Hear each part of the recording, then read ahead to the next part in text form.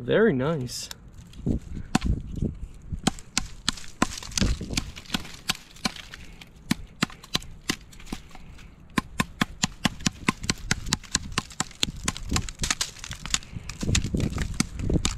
So I think it's safe to say the axe works good. Hello everyone and welcome back. Today we're checking out and we're also going to test out this multi-tool. So this has, uh, I believe it's 14 in one. So 14 different tools in one. So let's go ahead, and check this out. Nice carrying case. Put it on, on your belt loop and it can easily pop open. It's nice that it comes in this protective case. So this is it. Very nice balanced weight. Feels good in your hand. The axe part has a protective piece. There's the hammer. Pull it down. Lift that open. And then you can also use this part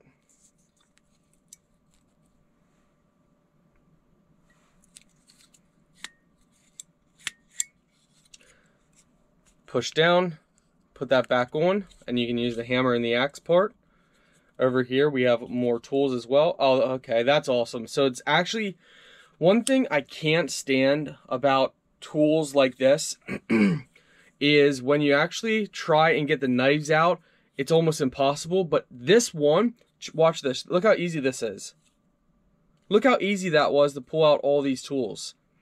So you have all these different tools. You got a filer, you have a saw type blade there, can opener, and multi-tool. You have another real thick, heavy duty saw blade, screwdriver, Phillips, and a knife. So you can easily keep one up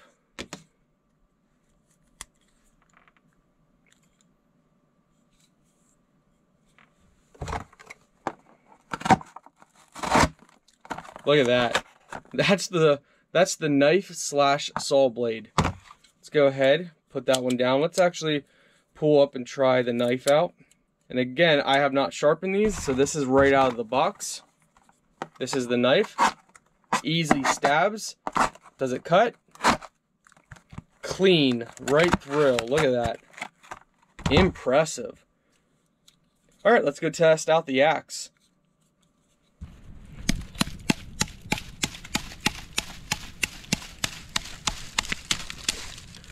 Axe is working very well. Directly out of the box with no other use. So with no sharpening working pretty good.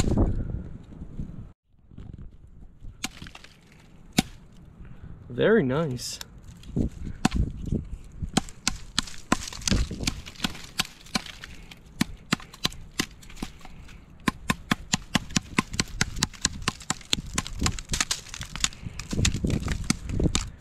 So I think it's safe to say the axe works good.